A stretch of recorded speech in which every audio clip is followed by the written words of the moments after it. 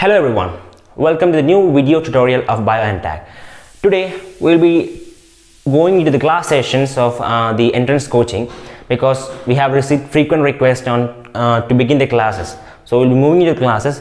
In the last session we have dealt about the CUCET syllabus and we know that we have to focus on other uh, syllabuses of other universities like BHU, Delhi University, Hyderabad Central University, etc. We will be dealing with that and these classes and syllabus discussion of other subjects like physics, chemistry, etc. will be coming very soon. So wait for that. So th those who are new to this channel, subscribe to it and enable the bell icon to get daily notification. So without wasting time, let's get on with the video. Now, as we have discussed the CUCET syllabus, we know that instrumentation or techniques is a very, very important part because all the departments with life science the common topic for them is instrumentation so under instrumentation we are focusing on that first. We have got eight topics major eight topics. We uh, there's further subtopics in it. We'll be discussing that also. But at first and briefly have to discuss is eight topics in major. The first one is microscopy. That is uh, the study of microscope uh, the different types of microscope its history its uses how it was developed etc should be learned in this session. And the next one is PCR, that is polymerase chain reaction developed by Kary Mullis. We have to discuss the various steps, the procedure, the principle, etc.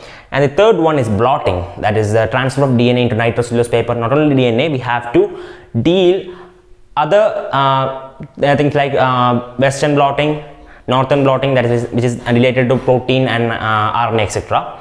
And the fourth one that is electrophoresis. That means we have to uh, learn the technique how DNA is separated. Uh, we have got only brief, vague idea about electrophoresis. We have to go in depth to this latest topic.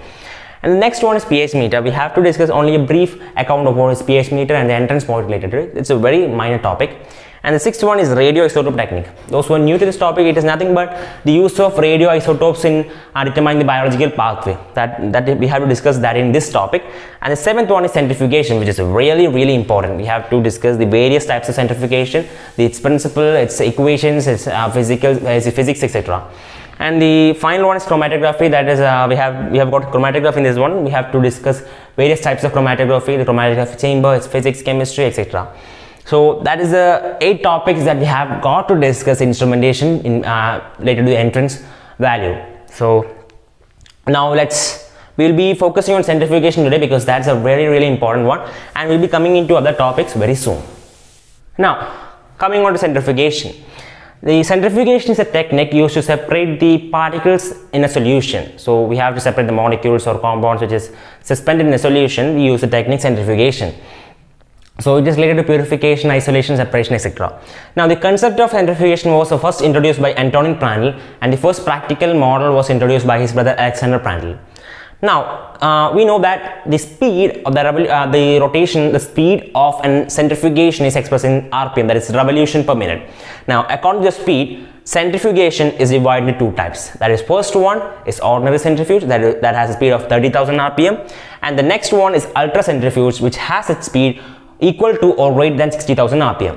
Now this ordinary centrifuge is a common one which we see in our school labs and college labs and all. Uh, but in labs, highly sophisticated labs biotechnology etc. ultra centrifuge is used. Now the, coming on to the principle and that is a structure and its components. Uh, in simple way, a centrifugation has a motor uh, which helps in rotation uh, which is connected to a rotor uh, which also the motor and rotor rotates in the same speed and the rotor has a sample holder which contains the sample and the sample is uh, is rotated with the help of rotor now it has got a container which uh, protects the entire system. This is the actual structure and all. So this is what we have to call about as uh, centrifuge in a simple way. Now coming on to the terms related to centrifugation, the spinning of the centrifuge causes a force on the particles which is known as centrifugal force. Now the centrifugal force causes the movement of particles that is the particles suspended in the solution moves down due to the gravitational pull. Now that movement of particles is known as sedimentation and the rate at which the particles move is known as the sedimentation rate. Now the sedimentation rate is due to cause is caused by gravitation. Now as i have mentioned before the speed of rotation is uh, is termed as revolution per minute. The speed is expressed in revolution per minute that is rpm now the next one is that sedimentation rate that is the movement of rate of movement of particles in the solution is express, expressed as sedimentation rate and it affects it is uh, it is affected by a few factors. The first one is density of the particles. How dense is the particles? If it is denser uh, particles sediment first. The size of the particles. If the size of the particles is very high it, it sediments first. Now the third one is viscosity of medium. High viscous solution there is a time uh, the time consumed is more for sedimentation then last one is gravitational pull if gravitational pull is more it causes sedimentation of the particles so these are the four factors which affects the sedimentation rate as I have mentioned before, the centrifugal force that is expressed as omega square into r. Omega is the angular velocity and the r is the radius. So the radius is the uh, the measurement of the rotor that is this portion this much portion is the radius. So if radius increases centrifugal force also increases. Now if the rotation speed also increases square times centrifugal force increases.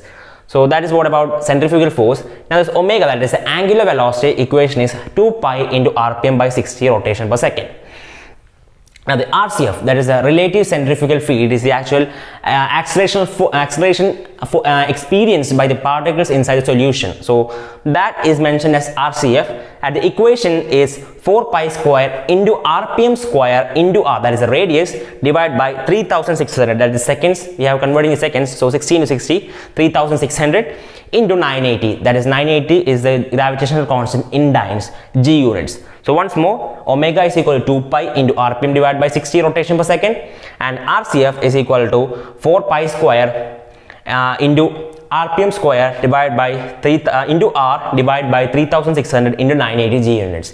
So that is what about we have to learn about uh, briefly about equations present in this uh, related to centrifugation. Now based on the nature of rotor the centrifuge is divided into two that is swinging bucket type and the angle type. Now the angle type we'll discuss first. The uh, rotor and the sample holder is in a fixed angle position. That is, is uh, fixed. When it is rotating high speed the position of the sample holder does not change.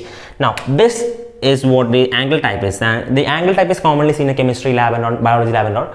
But whereas in the case of swinging bucket type it, the sample holder first will be in a vertical position. But when it is rotating at high speed the sample holders uh, moves from the vertical position to horizontal position.